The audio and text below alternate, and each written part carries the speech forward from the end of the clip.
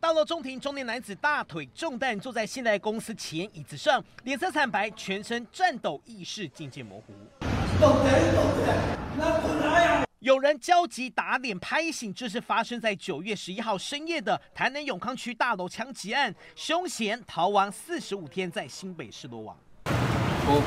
凶嫌坐在骑楼下，左右手被便衣刑警牢牢抓住，表情完全不在意。警方也在他身上查扣两把短枪和三十九发子弹，因为他们可能有一些金钱的纠纷存在。那至于是什么样的纠纷？我们在多方查证中，疑似因为金钱纠纷开枪泄愤，凶嫌绰号勾追，剪了一头招牌特征 M 字头，四十五天来南北逃窜，在台北、新北、台南、高雄、屏东变换住所，换七辆车制造断点，十分狡猾。数次针对所使用的交通工具以及藏匿处所做。隐藏凶嫌之前才因为判刑十八年刚假释出来，现在又犯下枪击案，警方也将追查共犯以及枪支来源扩大侦办中。记者赖关张、王书红台南报道。